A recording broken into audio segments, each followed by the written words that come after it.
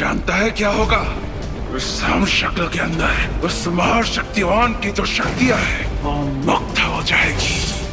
अब किसी भी पल ये शक्तियाँ हम शक्लों में बढ़ जाएगी।